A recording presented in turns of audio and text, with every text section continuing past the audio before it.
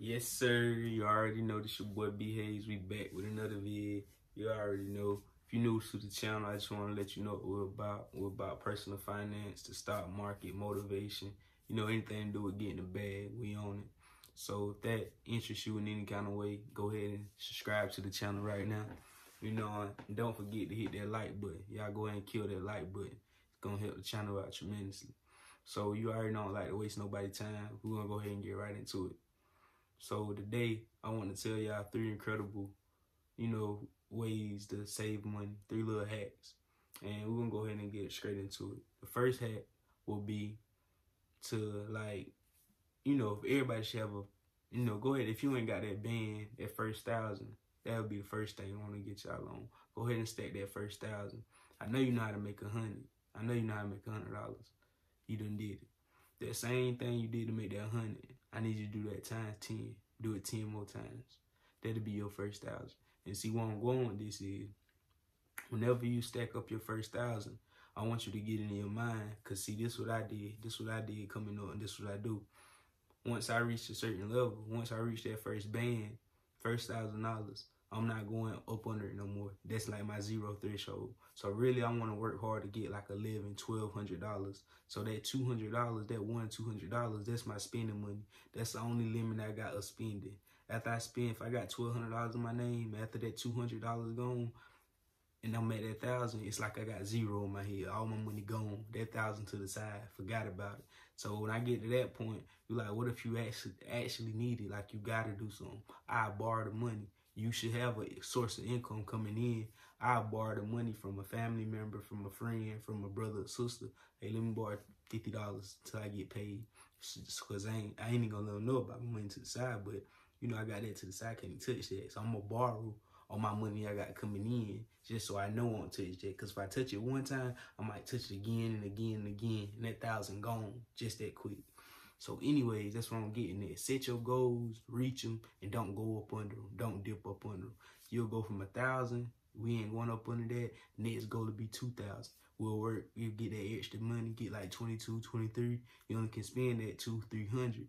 Once you get 2,000, can't can't go up under. I'm borrowing.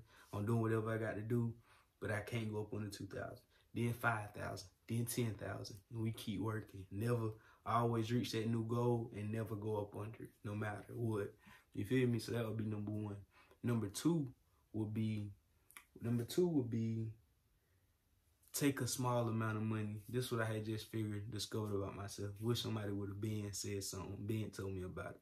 But basically, when you go into the store, when you go to convenience stores and stuff, I got a bad habit of, you know, you know, having the munchies, smoking or whatnot.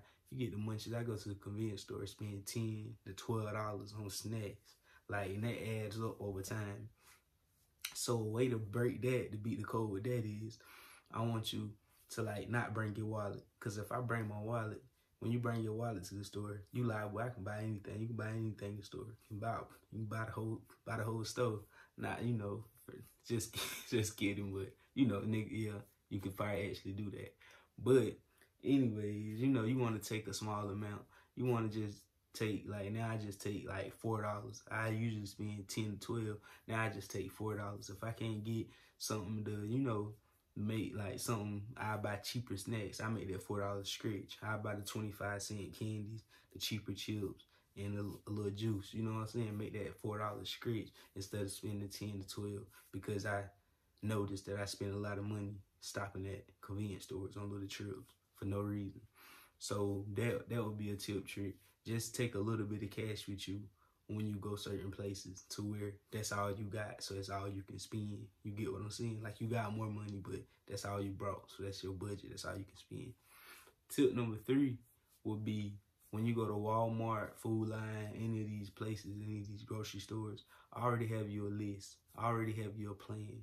Just like how I have a plan in the stock market, I know exactly what I'm getting in and out of a stock at before I get in it. I know what type of loss I'm gonna take and what type of game I'm going for. You need to have a plan with your life. You need to have a plan with with just like with shopping and stuff like that too. Because when you go on Walmart, we always get sidetracked. You just see things, you'll put it in the buggy. Let me get this, let me get that. If you ain't got no plan, you're going there, you liable to spend whatever. Spend that you're going to get what you need, what you came for, but you also spend an extra 30, dollars, extra fifty dollars, sometimes a hundred, depending on what you see in there. So it's like we need to be, you know, just make you a little list and know what you have your plan on exactly what you're going in for and probably a thing or two of what you want. You feel me? Making that making that list, you'll save a whole lot of extra money. So that would be number that would be number three. And what also ties in with number three is like mall shopping. Like whenever you go to mall, go shopping and stuff, have you a have you a, a budget in your head in your mind on about how much you're going to spend. Like I go to the mall, I'm gonna spend a hundred dollars, hundred and twenty dollars, no more than that. Instead of besides going to the mall and just I'm going to the mall knowing you want to shop and it's like whatever I see I'm getting it. I want it, I can afford it, I'm buying it. Now I have a plan, you know, and stick to it. And them them three ways and stuff that's gonna help you a lot with saving. I hope they help you any kind of way. And if they do, don't forget to share this video. I'm trying to share a few tips with you to help you out. You don't forget to pass on and help someone else out and share it. And like, comment, subscribe. Y'all already know more to come. B Hayes. We out.